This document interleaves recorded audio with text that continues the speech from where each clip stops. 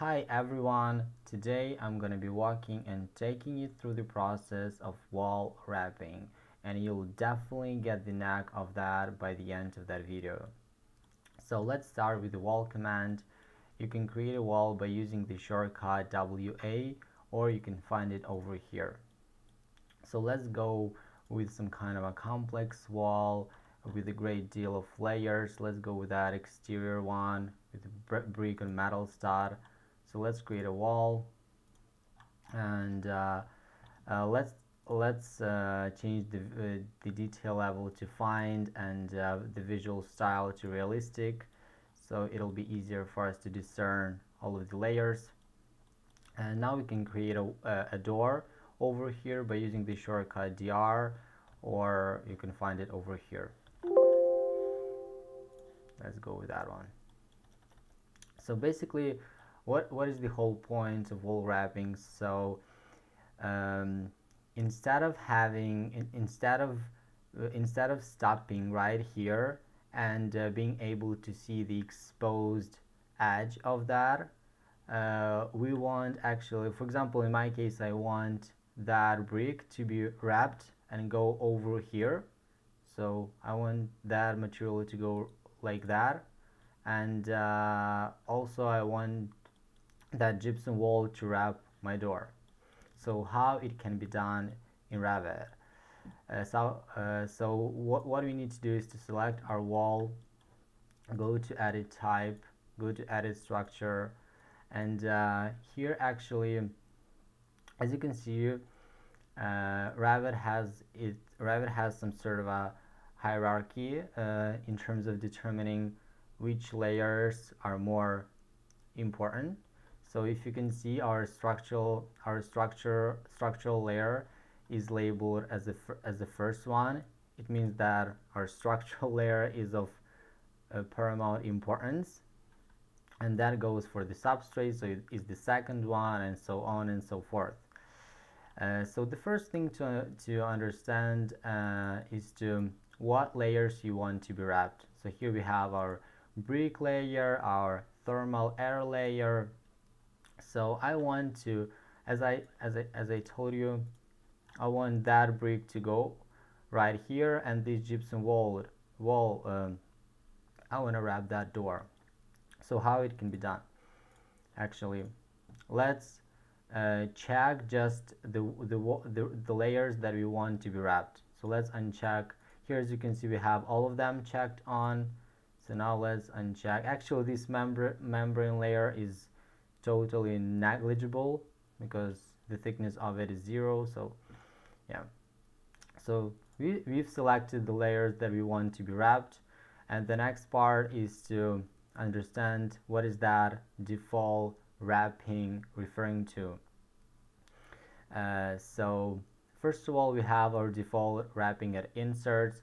Inserts uh, are your doors and windows and at and at ends actually usually you would have you, you you'll have some you'll have some sort of a closed loop.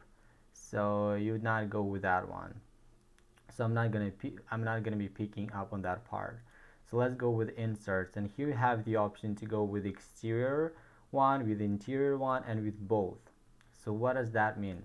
Here as you can see we have exterior side and interior side.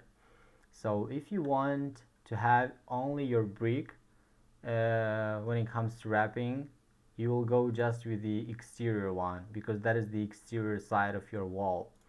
If you want just to have for example your gypsum wall board you'll go with an interior one because that is your interior side of, of the wall. I want to have them both. So I'm gonna select both go OK go OK and here we go. Here we have our wrapping and um, and that's it what you can do by using actually that's pretty much it what you can do by using a, a wall like by setting up your wall. Now uh, the next part uh, like if you want to step it up a notch like uh, you need to maybe you want to have usually you want to have that the ability to control how far it go uh, how far it can go and uh, just determining maybe you want that gypsum wall board to not go there maybe to somewhere over here. So how can we have a total control have it how can we have a total control over it?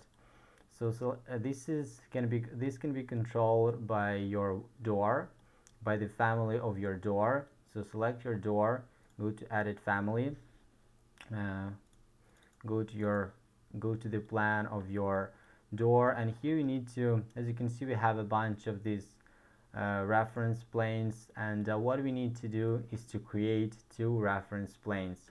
I'm going to be using the shortcut RP or you can find it on this datum panel reference plane. Let's create two of them. I'm going to be explaining everything in depth just in no time.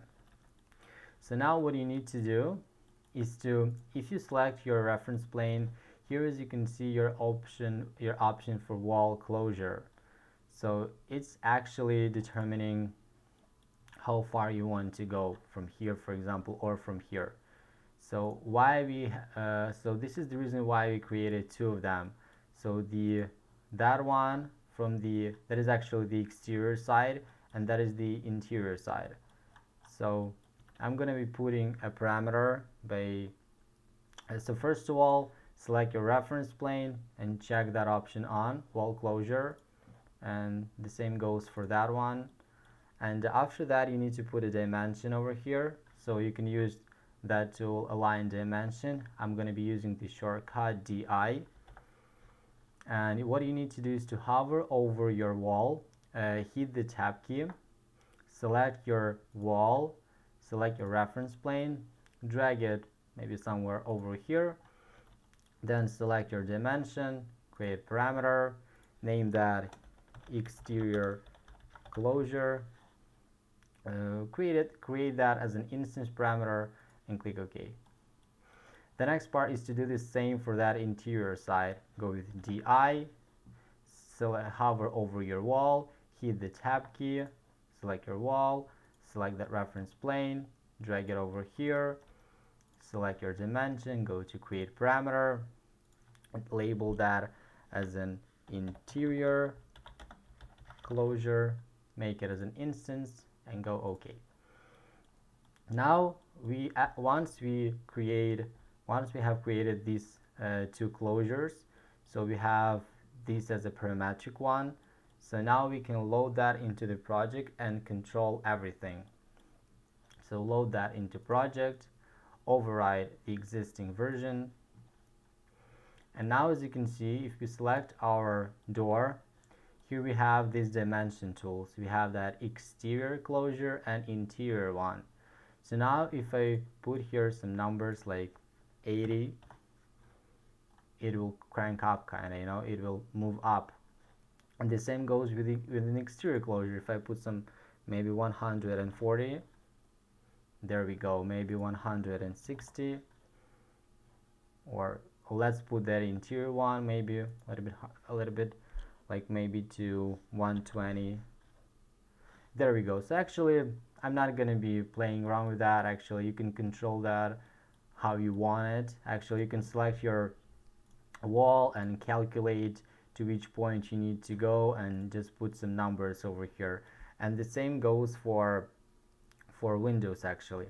So this is how you can create wall wrapping uh, by using the wall by using your wall assembly. So you you go and uh, check all of the wraps that you want to have. You, you, you need to check the layers that you want to be wrapped and then you need to kind of select uh, where you want that to be wrapped. It's on the interior side on, on the interior or on the exterior or on the interior side. And then to control that dimension from the from the edge. You can control that by uh, by using your family by using the family of your door. And that's it. That that that's actually pretty much.